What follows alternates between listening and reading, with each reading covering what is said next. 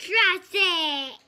Hey everybody, Dr. O here. This video I want to talk about two historical figures that are very important in microbiology. So we're going to start here with Ignaz Semmelweis and then we'll also cover Joseph Lister. They were both doing similar things just in different arenas. So Ignaz Semmelweis, he's, he's credited with being the first physician that believed that hand washing would be important. So let's just put this in historical context because now we think about that as just absolutely uh, ridiculous not to wash your hands. But in this time it was believed that um, diseases were caused by imbalances between good and evil spirits and and, the body's humors were critically important. Uh, miasmas, like foul odor, odors and smells, were the cause of disease. So you have to understand that he was way, way, way ahead of his time. So much so that um, there's a little legend here. It's hard to tell, but uh, at least once, if not two or three times, he was actually let go of his position and had to move on because he just wouldn't give up on this idea that washing hands was important. So, um, so he began in the 1840s to start washing hand, his hands with um, chloride of lime, which would be calcium hypochlorite, kind of related to, to, bleach.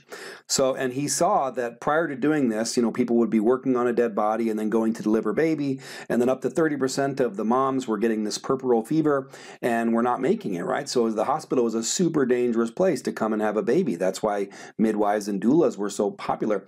So when he started uh, washing his hands with this chloride of lime, he saw drastic reduction but uh, but nobody really believed him. So he really was ahead of his time. But um, that's what I want you to know about him is crediting him with being the father of hand washing, if you want to call it that. Now there are some legends that said that he washed his hands in some merc- mercuric or mercury-based compounds, um, which sort of ties into this because it, it is believed that he ended up in an insane asylum and ended up dying in an insane asylum. So you wonder if something he was washing his hands with, like potentially mercury, could have led to some of that uh, mercury is very neurotoxic. I don't know. I'm just kind of sharing some of the stories and legends that, that I've heard um, in this field. So that's Ignaz Semmelweis. I here I just have a picture of proper hand washing, so you can certainly take a look at that. But uh, of course, we now know how critically important it is. So just imagine how, how far ahead of his time what he was in the 1840s.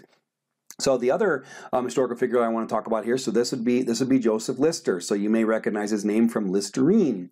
Um, so Joseph Lister, seeing what Pasteur had been up to with the germ theory of disease, seeing that hand washing had been effective, at least in some case reports, um, and then also seeing that they were using chemicals, specifically carbolic acid, which we now call phenol, um, was being used. I think they called it creosote, but uh, it was being used um, to treat sewage to get rid of the foul smell of sewage, and obviously they thought foul smells were critically important. So he decided what would happen if we use it on wounds directly. So Joseph Lister is given credit for the first person developing um, uh, aseptic surgery practices, if you want to call it that. So, so he had seen how well it worked controlling sewage, so he tried this carbolic acid, this phenol, on wounds directly. So here I have an actual picture of him. This would have been somewhere in the neighborhood of 1865. That machine right there in the middle of the picture is called the carbolic steam spray. So he was using carbolic acid and using it in his surgical suites. So Joseph Lister is, is credited with um, creating these antiseptic surgical techniques. Again, think about the time. The 1860s, we're looking at the Civil War um, area Think about like a battlefield surgeon in the Civil War. He would amputate someone's limb, rub the rub the blood off of his blade onto his boot, and then go to the next. Right? You were you were just as likely um, to die. Actually, every war up to I believe World War One, um, you were more likely to die from infection than you were from actual battlefield wounds. So think about part of the reason why how easily things are being spread. All right, so that is Ignaz Semmelweis, who is credited with being the father of hand washing as an important clinical practice practice, and Joseph Lister, who moved those same types of techniques into the surgical suite. All right, have a wonderful day. Be blessed.